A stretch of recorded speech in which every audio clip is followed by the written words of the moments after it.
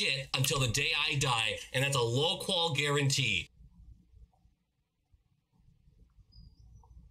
Low quality fans of a high quality Bruins team. The Habs are in the finals. This is an informal video. I, I want your take on this. This is a conversation piece. God.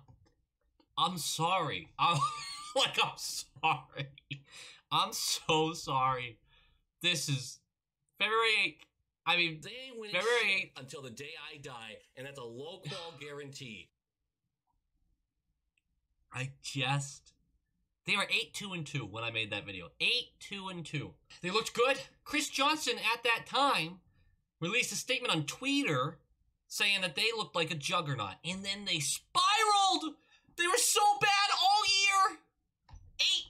place in the league makes the playoffs because of the way the format is. I don't I'm not mad about the format. They did what they could. I mean every year there's a team like that. And then Carey Price locks it down. Massive comeback in the first round, sweep in the second, and then a real, real upset in the third.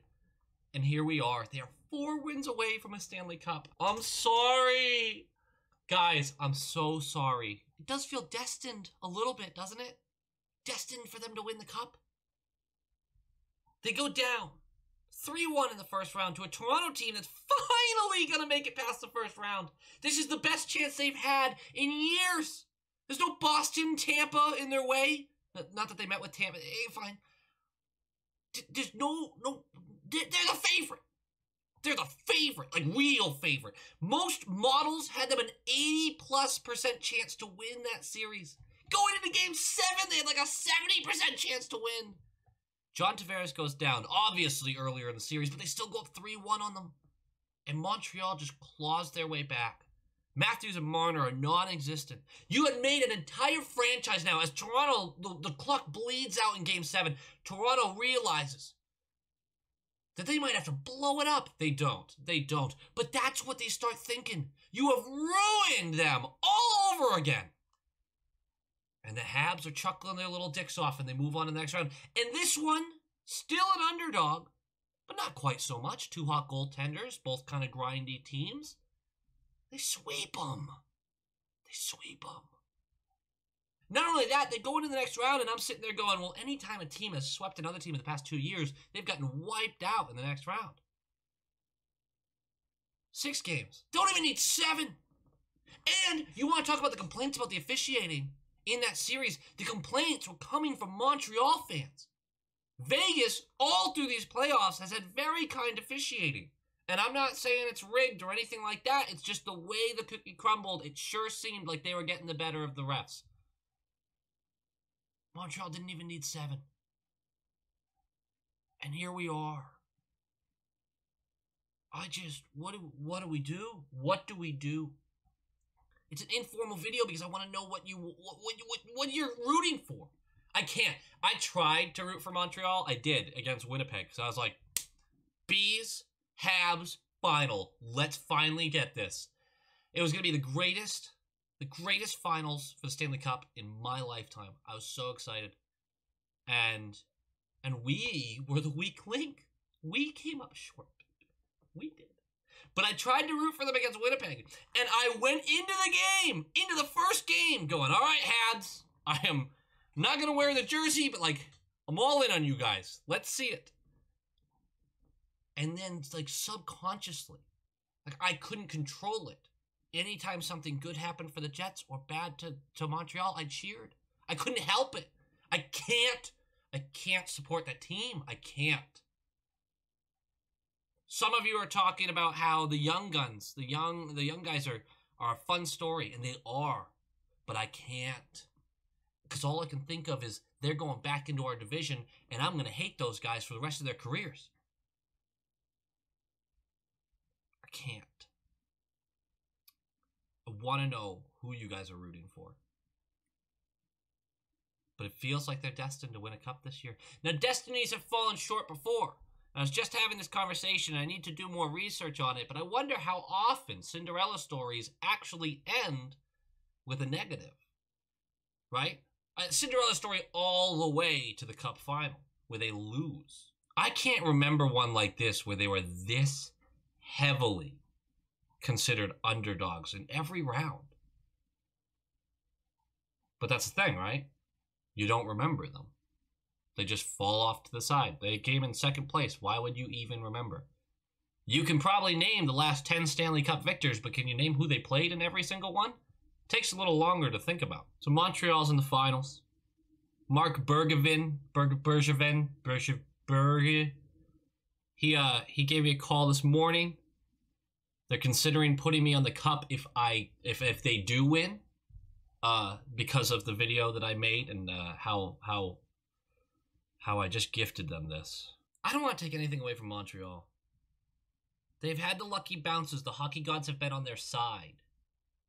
But they're still playing a hell of a game.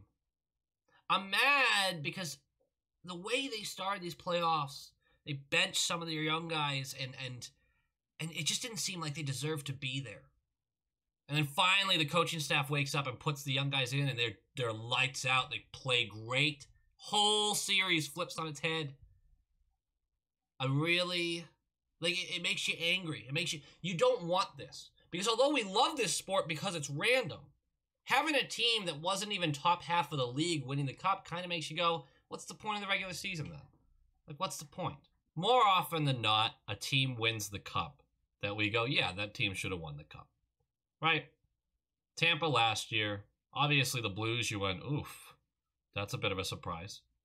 But then you want to talk about the Penguins championships, the Blackhawks championships, the Washington championship. Like those teams all very much deserved a cup. Montreal will absolutely deserve this cup if they win it. They will. So I don't want to get bogged down in the the regular season doesn't matter. Because it does, because it's hard to make the playoffs. Heavily favored teams often do win. And these runs are rare. They really are. So we should enjoy it. I can't support it. I also can't support it because it's my fault. Go ahead and put who you're rooting for down below. Let me know. I just need, I just, this is tough. This is tough titties, guys. Just the toughest of titties. These are rock solid titties. These are, these are if the Easter Island heads had bodies, those titties. Rock solid. But in happier news, let's talk about the bracket challenge in which whoever named their, their bracket Trent Frederic, I think you ran away with it. And I think you ran away with it because you had Montreal in the finals. None of our brackets are anything to brag about, by the way, guys. A lot of us went with the Bruins because why wouldn't we? Uh, whoever named it, a little special shout out to the one who named it Nope. Uh, I, I can't see the username for some reason. I might just be looking at the wrong thing. But whoever named their bracket Nope, uh, you almost got a perfect anti bracket. Like it's opposite of almost every single series. And that might have been the point by saying nope. But damn, if you just swap that around, you would be winning right now. So nice job, Trent Frederic. Uh, it just, I don't think you can be caught and uh, second place, I believe, is going to Ellie for Calder 2026. That's a that's a little inside joke between me and a buddy. Other happy news. So we reached the goal of 100 subscribers in the first season. We crushed it. But really, the biggest goal this channel had and continues to have, and we've reached, is to build a small community that I can talk to about the team I love because I don't have that around me. I'm I, there's no one around me that I get to talk sports with. And you guys have just been an absolute blessing. So thank you for that. Now, I've been informed by YouTube that they are changing their setup, and now we'll begin putting ads on videos even if you're not monetized, which is crazy to me because do they need that? Do they need more money? Anyway, so they're going to start making a small amount of money off of my videos while I'm not monetized. I need a thousand subscribers to monetize. And if someone's to get paid, for me talking about shit to a webcam, it's gonna be me. So the new goal is a thousand. Obviously, that should have always been part of the goal. And, and it was, right? It was always like, well, maybe it can really grow into something. But I never want to lose the purpose of what this channel was, which is the community and the enjoyment of the team. And YouTube is a free site for me to post this stuff. So how mad can I really get? But seeing that email and seeing the changes that they were going to make kind of made me go, you don't need to put ads on my stuff. My channel's small. Like, leave it alone for now. And it kind of bugged me. So the goal is to get to the point where the ads are there for a reason because the channel has grown to that size. I think they're doing it later in the summer.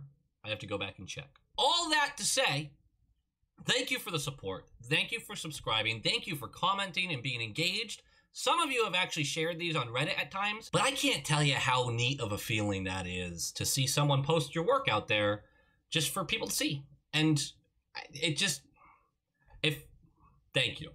Just thank you.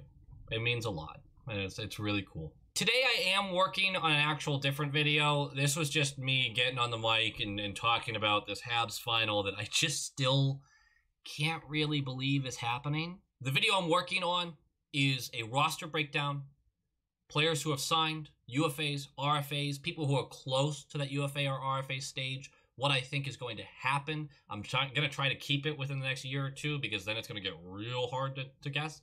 And a way too early opening night roster prediction that is guaranteed to be really, really wrong. So let's uh let's have some fun with that. If you are already tuned into some of this stuff and you've been looking at it, put in the comments a free agent or two that you'd be really excited for the Bruins to go after. Not one that's currently on the roster, one that like literally is opening up from another team. Go